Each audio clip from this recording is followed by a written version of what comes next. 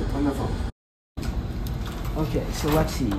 Um, x1 is 2, xn plus 1 is... Hey, wait, isn't this a Ramanujan? Oh, okay. I thought I saw this on Real Analysis Quiz because there's a limit here, but I'm pretty sure it's actually one of these questions. Um, okay. So let's see. Uh, x1 is 2, and xn plus 1 is the square root of 2 plus xn.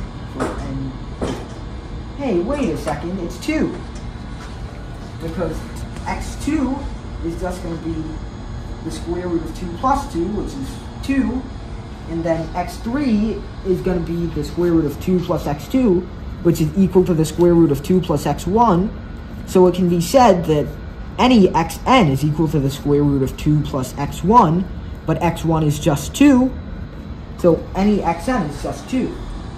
Yeah, this is a trick question. Wait, wonderful.